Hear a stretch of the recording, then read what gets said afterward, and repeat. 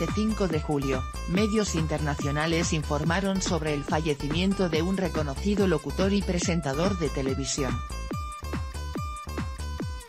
A través de un comunicado, RT Amerique, cadena en la que trabajaba el reconocido presentador, dio a conocer que la madrugada de este jueves su colaborador perdió la vida. Se trata del reconocido locutor y presentador de televisión Edward Andrew Schultz, quien trabajaba en el programa Newsweek. La editora principal de RT, Margarita Simonyan, mencionó lo siguiente después de la muerte de su compañero, estamos devastados por la noticia de, la repentina muerte de nuestro brillante presentador, uno de los mejores periodistas de televisión de Estados Unidos, Ed, Schultz.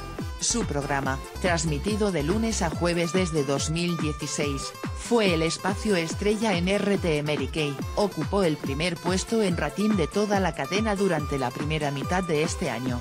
El presentador, de televisión feneció a los 64 años en su casa de Washington, Estados Unidos.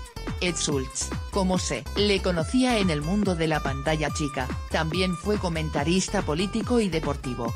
Tras darse a conocer la muerte de este presentador de televisión, usuarios de redes sociales escribieron comentarios como los siguientes, condolencias, RT y su familia, lo siento por la pérdida primeramente de un hombre y así también por, la pérdida de un gran profesional de RT, mis condolencias a RT y su familia.